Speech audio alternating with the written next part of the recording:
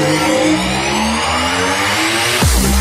Report Santosh Mishra Bahraich bureau जनपद बहराइच के कर्तन्य घाट वन्य जीव प्रभाग के धर्मापुर रेंज अंतर्गत गाँव धर्मापुर मजरा जलेहा में लगे शीशम के हरे पेड़ खुले आम बेखौफ होकर ठेकेदारों द्वारा काटे जा रहे हैं। एक तरफ़ पर्यावरण पर लगम लगाने के लिए सरकार हर प्रयास कर रही है, वृक्षारोपण करवा रही है। जगह जगह तालाबों, स्कूलों में वृक्षारोपण हो रहे लेकिन फिर भी कतरनिया घाट संरक्षित वन क्षेत्र में कटान रुकने का नाम नहीं ले रही है। अधिकारी जानकर भी मिली भगत ऐसी अनजान बने हुए हैं। न्यूज़ इंडिया प्लस से बहराइच ब्यूरो चीफ संतोष मिश्र